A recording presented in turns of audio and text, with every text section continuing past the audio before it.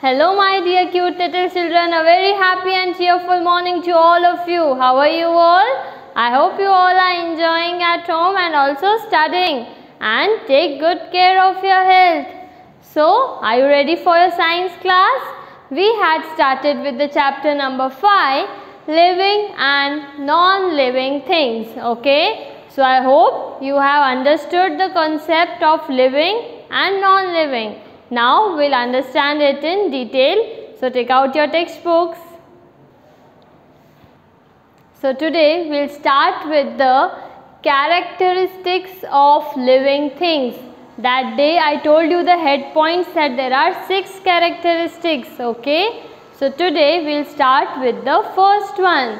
Living things grow. That means we all are living things and we grow First you all were small little babies. Now you have grown up and slowly slowly you will grow up. Now you are in standard 3. Then you will come in standard 4, 5, 6 and you will grow. So let us see living things grow. Why it is said so?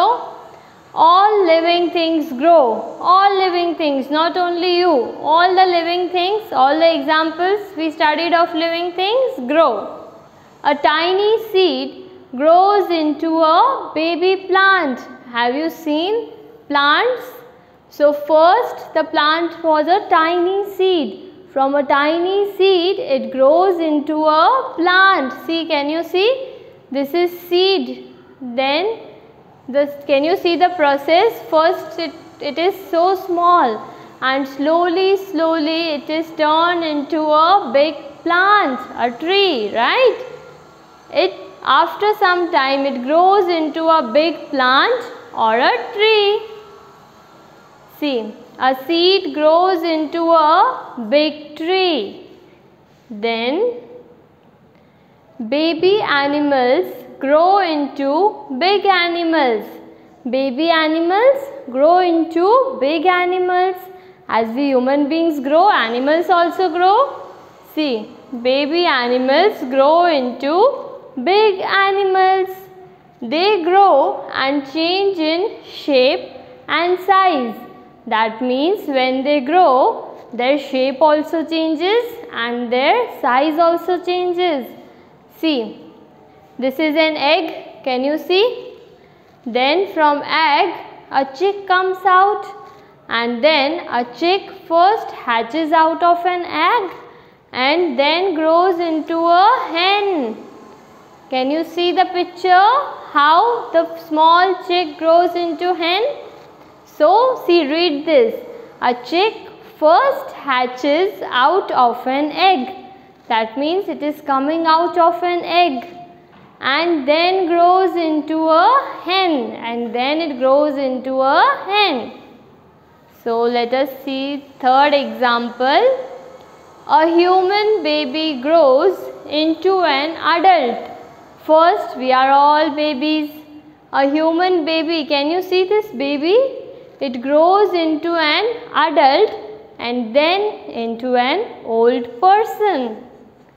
First, human baby grows into an adult and then into an old person. See the picture. First, he is a small baby crawling. Then, he is a child like you after child, he becomes an adult like your father. And after adult, he becomes an old person like your grandfather. So, can you see the chain? So, it is said that all living things grow. We studied three examples, right? First, how seed grows into a plant. Second, how a small animal grows and changes its shape and size. And third, how a baby grows into an old man. Now I'll show you a short video. See the video. Things grow. All living things grow. A tiny seed grows into a baby plant. After some time, it grows into a big plant or a tree. A seed into a big tree. Baby animals grow into big animals. They grow in shape and size. A chick first hatches out of an egg and then grows into a hen. Baby, child, adult, old person. A human baby grows into a... So did you saw the pictures and understood the concept? So now I have a short worksheet for you. See, this is a worksheet only of four questions. A tiny seed grows into a, a tiny seed grows into a dash. Name any three characteristics of living things. That day we discussed six head points. You have to name any three. A chick first hatches out of an egg and grows into a, you all know the answer. Fourth, how does a human being grows? You have to mention the stages, okay? So, I hope this concept was clear. We'll meet in the next video lesson with the next topic. Till then, take care. God bless you. Keep smiling.